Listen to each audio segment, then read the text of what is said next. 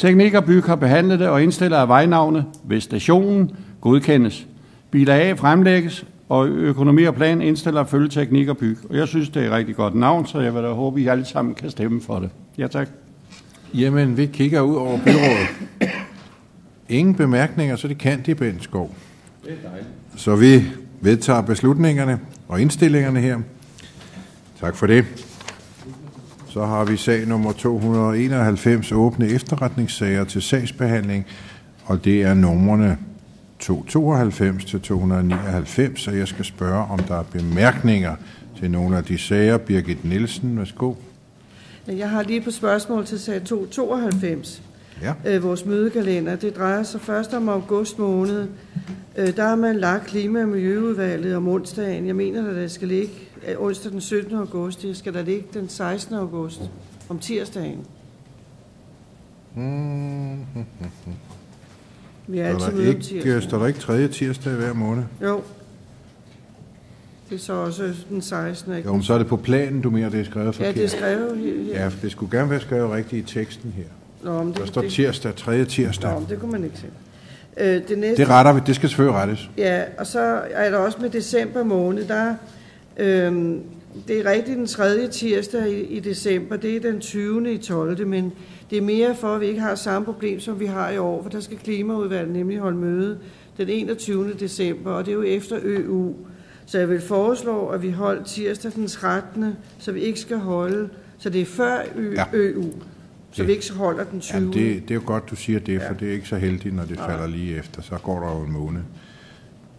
så hvis vi Det, lige... skal, det kan vi korrigere for, Godt. de ting, du har nævnt der. Og så har Merete, Merete Amdisen også forslag.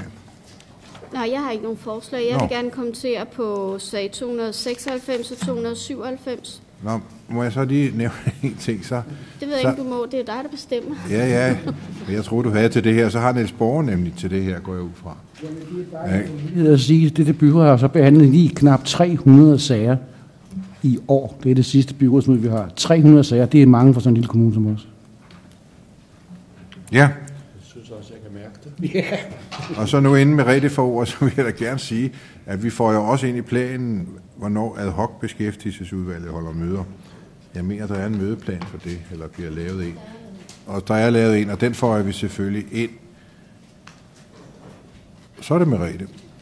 Ja, når vi nu er ved ad hoc beskæftigelsesudvalget, så vil jeg gerne hente byrådets opmærksomhed på de gode resultater, der er både på ledelsestilsynet i jobcentret og på rapporten om det kommunale rådighedstilsyn 2009. Jeg synes, at øh, de her flotte tal øh, fortjener at få et par ord med på vejen, for vi har været rigtig gode til at kritisere jobcentret og Vandsbæk Kommunes beskæftigelsesindsats, når ikke det har været godt nok. Og nu viser de faktisk rigtig gode resultater, og det skal de så også have et par ord med på vejen, øh, i hvert fald fra min side. Ja. Tak for det. Og er der andre forslag, Paul Jørgensen? Ja, tak. Det er sikkert ikke forbavsende, jeg ønsker en kommentar til 293. Status vedrørende Klub Medina. Ja, værsgo. Oprettelsen af Klub Medina blev, øh, bliver i lokalbefolkningen betragtet stadigvæk som en belønning for veludført kriminelle handlinger og uro, at klubbens funktion modarbejder integrationen, og at brugerne fremmer parallelle samfund i, i lokalsamfundet. For eksempel er personale opvokset i Ishøj, og man ønsker ikke ansættelse af udefrakommende. Så kan man jo så spørge, nu sidst har jeg set, at der er opslået en annonce vedrørende med en værkstedsmedarbejder eller leder eller noget, til det der påtænkte indretning af værkstedet dernede. Og øh, så kunne jeg da godt tænke mig i parentes bemærke at vide, om det også er en anden etnisk opfattelse eller ansættelse, der er, er gjort der. Øh, det, det må man jo vide vedrørende ansættelsen. Men man er i hvert fald modstander af brugerne dernede og af personalet dernede, at der kommer udefra kommende, der bliver ansat dernede. Sådan er det. Og så er mange af brugerne dernede, det fremgår jo, alt, alt det jeg sidder og siger, det fremgår jo af den der evalueringsrapport, der fremkommer her. Og mange af brugerne dernede, de begår stadigvæk kriminalitet. Og man påstår, at de ikke sidder og udtænker sådan en form for kriminalitet eller nogen som helst slags nede i Medina.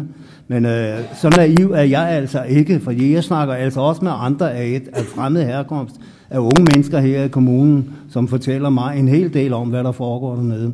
Og der er foregået i hvert fald et par ret alvorlige tilfælde, hvor jeg har fået henvendelse fra borgere af anden etnisk oprindelse, hvad deres sønner er blevet udsat for dernede. Så siger man så, hvorfor har man ikke anmeldt der noget til politiet? Så ved vi jo alle sammen, hvad svaret det er. Det tør man ikke. Sådan er det.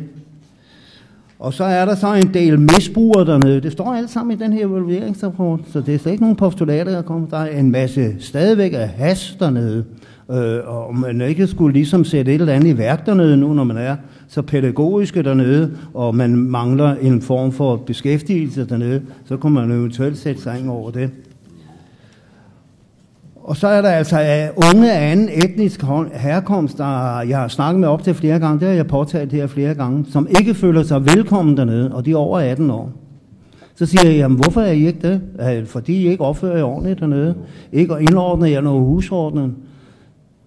Hvad er svaret?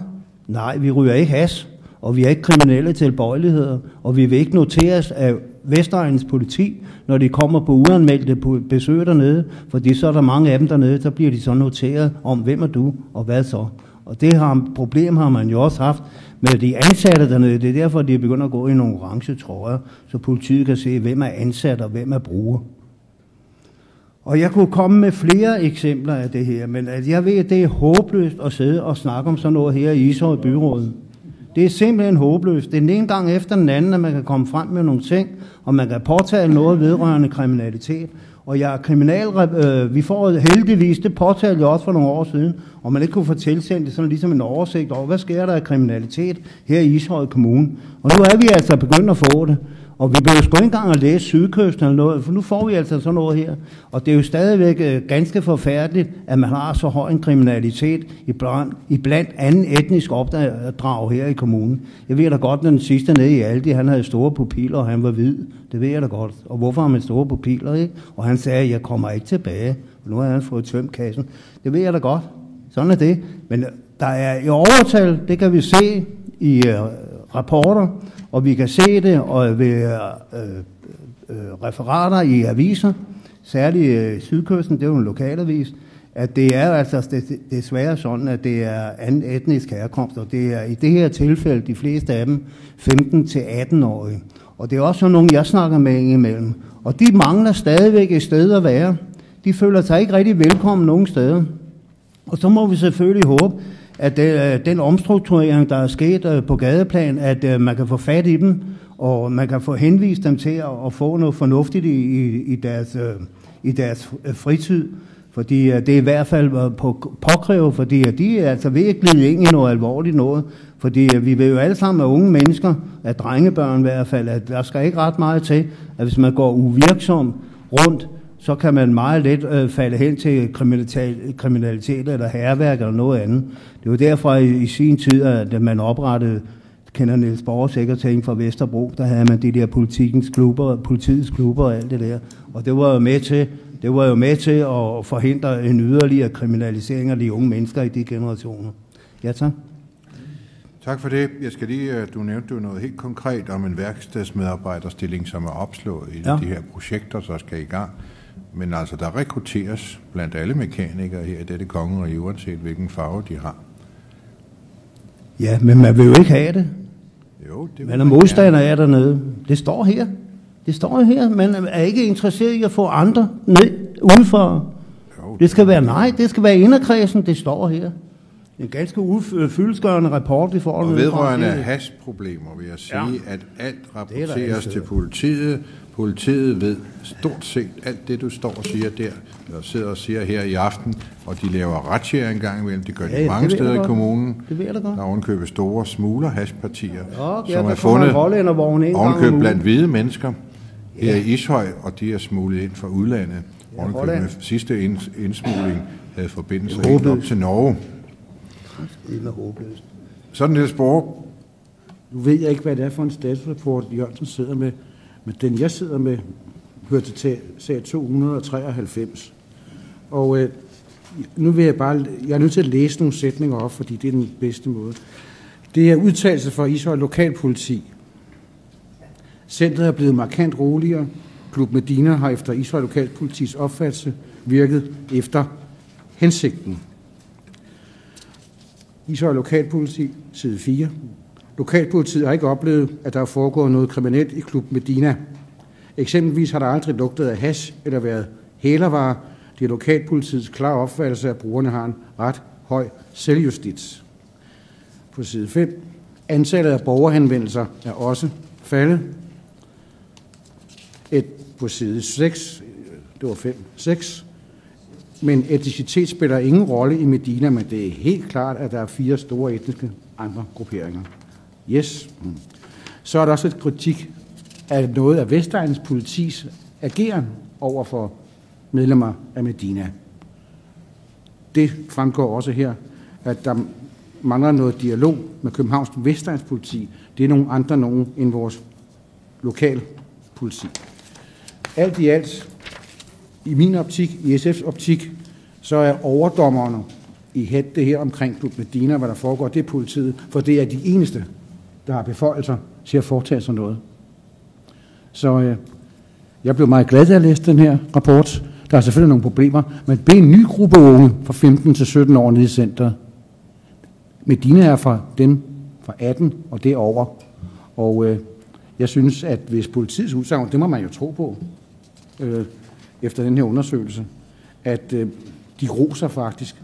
Lederen af Medina for stor ros og anerkendelse for øh, Israel Lokalpoliti. Jeg ved ikke, hvorfor, om vi har fået forskellige rapporter. Han har sin egen rapport. Nå, undskyld. Ja. Og Altså, er er er også en grund. vil du have ordet, Poul? Jo, jo, men det kunne være, der var andre, der ville på banen. Men altså, vi kan jo, vi kan jo så slutte med dig. Værsgo. Ja, men øh, der er en grund til, at Vestegnens politi de kommer dernede. Og der er jo også en grund til, at øh, man kommer ned med hunden en gang imellem. Det skulle da ikke bare for at få en kop kaffe. Det er lokalpolitiet, der kommer ned en gang imellem og får en sodavand og en kop kaffe. Sådan er det. Men det er da i hvert fald bevisligt, at øh, de mennesker dernede, det står jo her, at de jo stadigvæk begår mange af dem kriminalitet. Det står der her. Og det er da også stadigvæk forbudt at gå med over et vis gram has i lommen, at de så eventuelt kan gemme det eller noget. Altså, jeg er sgu ikke naiv. Jeg vil ikke rende her og være naiv over nogle ting, som man ved, der er åbenlysende. Og når de sidder dernede og snakker, øh, og, og hvis der er, eller, lad os sige, det halve af dem har kriminelle tilbøjeligheder, tror du så, de sidder og snakker om, øh, om vejret eller sådan noget lignende? Det, det gør de da ikke. De, er, de har da en vis, øh, kan man sige, rytme i, det, i sådan, nogle, sådan nogle unge mennesker, der befinder sig i det der.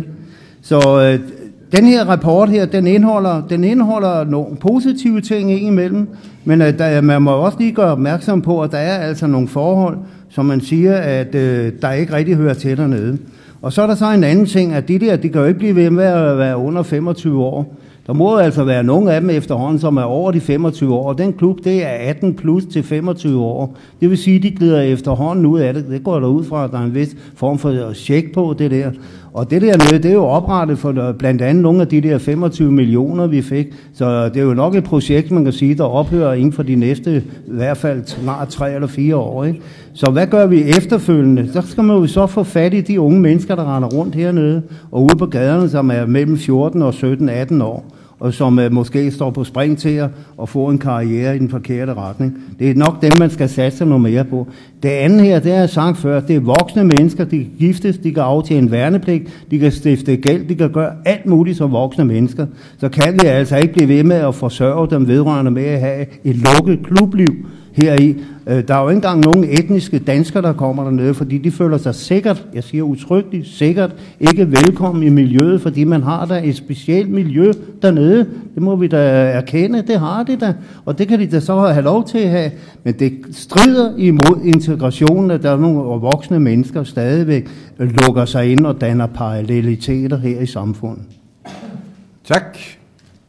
Ikke flere bemærkninger til sagen. Og jeg skal spørge, om der er andre sager under efterretningssagerne, man vil kommentere. Det er ikke tilfældet, så slutter vi forhandlingerne her i aften. Jeg siger tak til seerne og tak til tilhøren. som ikke er der mere. Tak for i aften. God jul. Henrik, det er vigtigt, at